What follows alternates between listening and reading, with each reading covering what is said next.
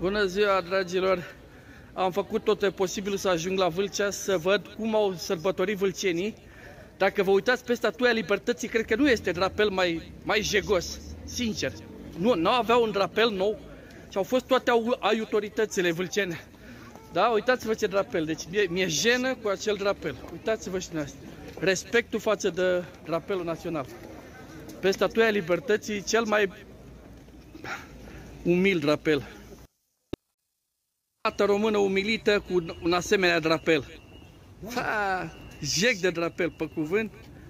Uitați, mai sunt oameni din armată. Armata română, nu va gospodări să puneți un drapel mai ca lumea. Bine că aveți mască. Uitați ce drapel. Ăla e drapel la Vâlcea aici. Deci ăsta este drapel. Deci, sărăcie în primărie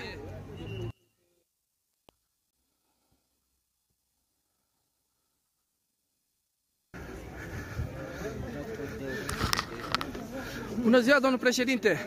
Două cuvinte aici, dacă nu vă să vă deranjeți. Spuneți-mi și mie, drapelul este de, de, în timpul războiului?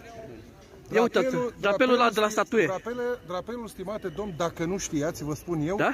este din Bălcești Vâlcii, pentru că Poenarul, care este secretarul lui Tudor Vladimirescu, i-a pus lui Tudor Vladimirescu... Deci de atunci datează acel drapel sta pus pe statuia Libertății. Dacă mă las să vorbesc, vă ascult, vă ascult. ciucuri albaștri, galbeni și roșii în steagul Revoluției. De atunci da drapelul la mulți ani. Cel de, cel de pe statuie, nu?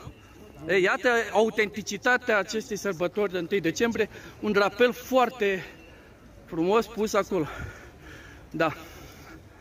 Nu merităm drapele mai noi, că nu avem bani. Facem asfaltul.